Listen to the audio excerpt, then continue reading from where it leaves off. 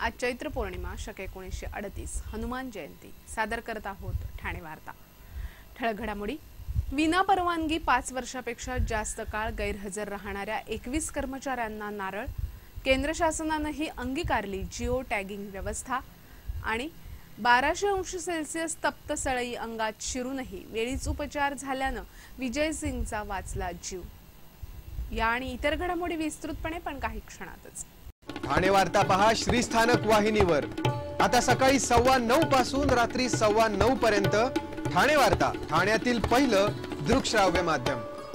श्रीस्थानक वाहिनी ठाण्याची स्वतःची वाहिनी. ठाण्यातील घडामोडी कार्यक्रम वादविवाद अगदी गाणी नाटक याचा आनंद घर बसल्या. पहा श्रीस्थानक वाहिनी. आपल्या ठाण्याचं हक्काचं व्यासपीठ श्रीस्थानक वाहिनी. ठाणे वार्ता आता संकेतस्थळावर देखील. ठाणे वार्ता डॉट कॉम वर क्लिक करा आणि ठाण्याच्या घडामोडी जाणून घ्या. ठाण्यातील पहिलं ऑनलाईन माध्यम ठाणे वार्ता डॉट कॉम. नमस्कार मंडळी दर रविवारी पाहायला विसरू नका. नमस्कार मंडळी आपल्या प्रश्नांचं थेट उत्तर.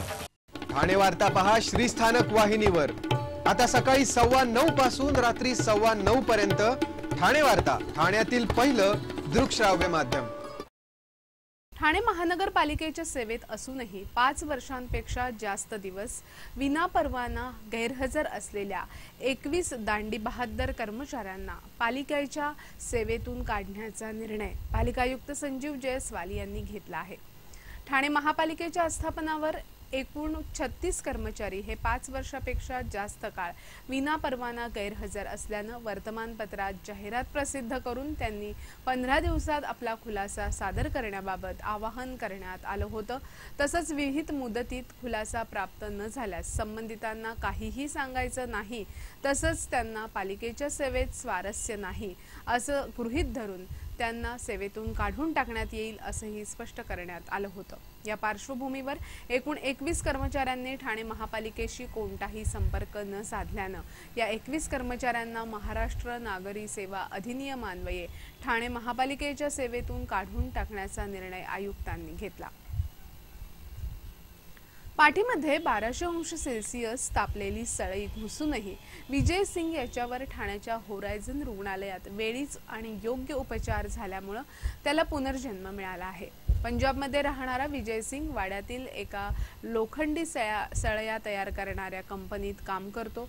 चोवीस जानेवारीला नेहमीप्रमाणे काम करत असताना तप्त लोहरसातून लोखंडी सळई करण्याच्या कामात मग्न असताना अपघातानं एक तप्त सळई जिचं तापमान जवळपास बाराशे अंश सेल्सिअसपेक्षा जास्त होतं अशी ही सळई अचानक सटकली आणि वाकून काम करत असलेल्या विजयसिंगच्या डाव्या खांद्यातून शरीरात घुसली. तप्तसळईनं विजयसिंगची आंतरबाह्य त्वचा पेशी हाडं अक्षरशः जळून खाक झाली. बेशुद्ध अवस्थेतील विजयला स्थानिक रुग्णालयात नेण्यात आलं आणि तप्तसळई त्याच्या शरीरातून काढण्यात आली.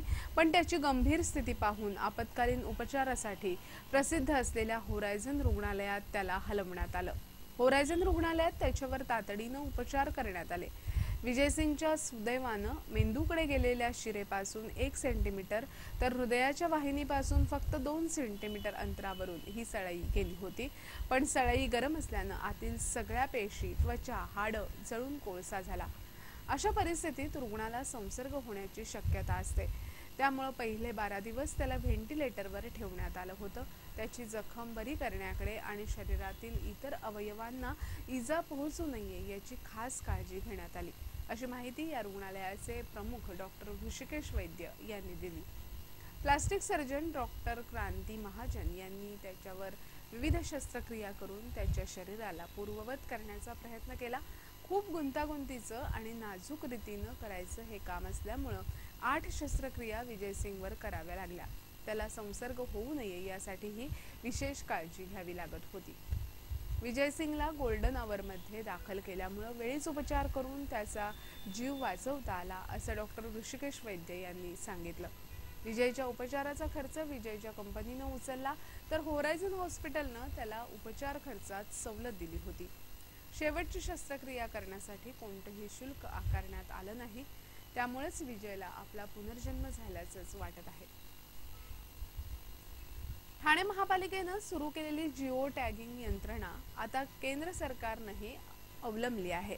महापालिकेच्या व्य- कामामध्ये पारदर्शकता यावी कामाची पुनरावृत्ती टळावी तसंच सुरू असलेल्या कामाची अद्ययावत माहिती उपलब्ध व्हावी यासाठी पालिका आयुक्त संजीव जयस्वाल यांनी ही योजना सर्वप्रथम ठाण्यात राबवली होती.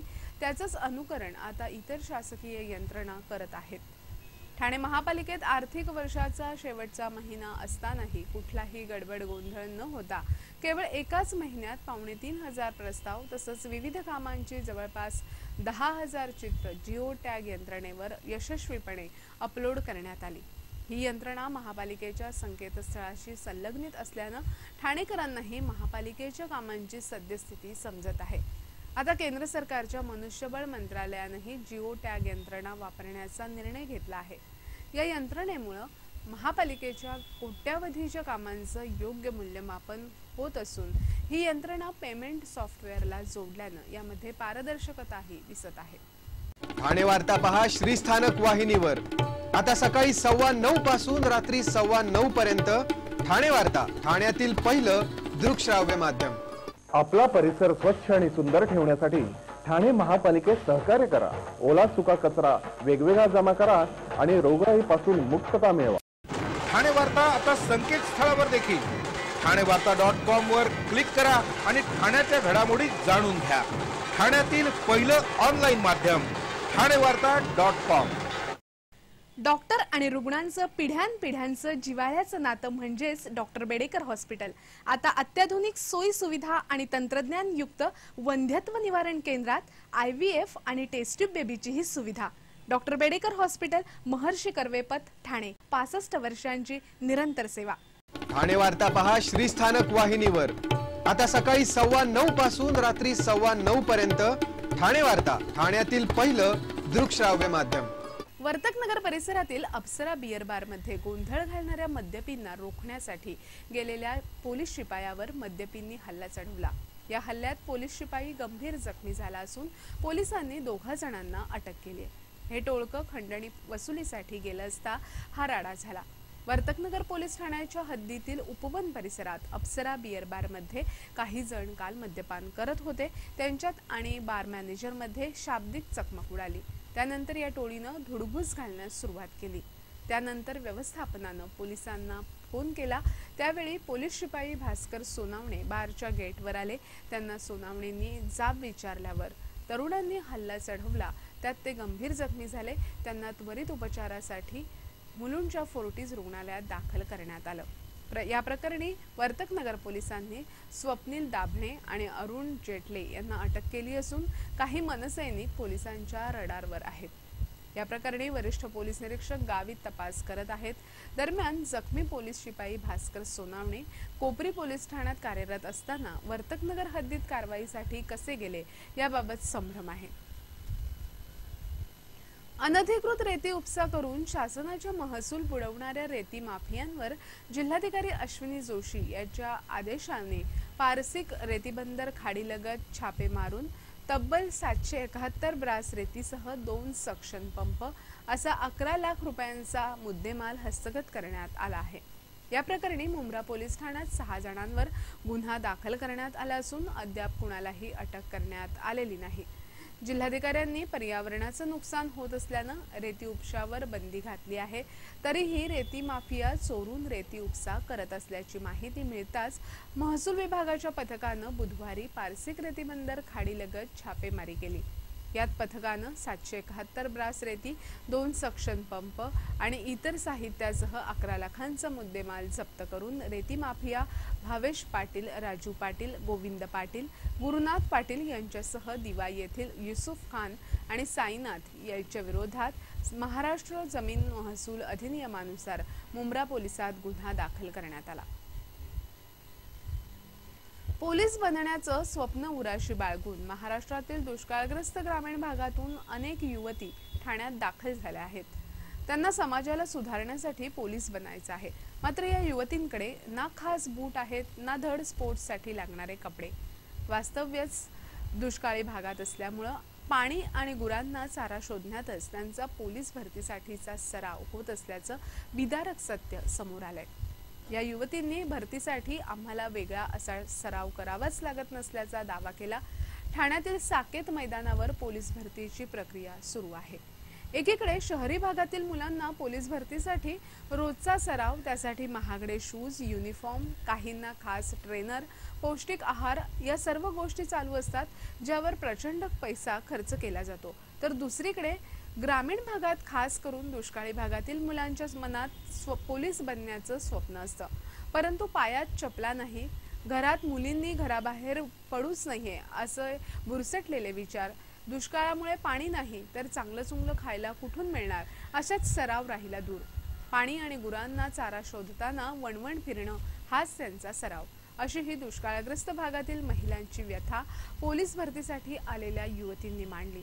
यात परभणीची राजनंदिनी कसबे लातूरची शीला कांबळे मुरबाडची अश्विनी तांबाणे औरंगाबादची जया आगर्डे आणि नाशिकवरून आलेली पूजा लिभाने आदी युवतींचा समावेश आहे. ठाणे जिल्ह्यात अनेक मंदिरांमधून आज हनुमान जयंतीचा उत्सव मोठ्या उत्साहात आणि भक्तिभावानं साजरा करण्यात आला. हनुमान जन्माच्या आधी ठिकठिकाणी कीर्तनाचे कार्यक्रम आखण्यात आले होते. आज सकाळी हनुमान जन्माचा सोहळा मोठ्या उत्साहानं आणि भक्तिभावानं साजरा झाला. हनुमान जयंतीनिमित्त विविध ठिकाणी धार्मिक कार्यक्रमांचं आयोजन करण्यात आलं होतं. विविध मारुती मंदिरात भाविकांनी दर्शनासाठी गर्दी केली होती.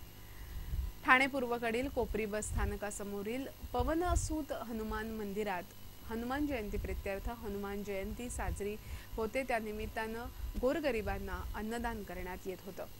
श्री पवनसूत सेवा प्रतिष्ठानच्या वतीनं गेली तीस वर्ष हा उपक्रम राबवला जातोय.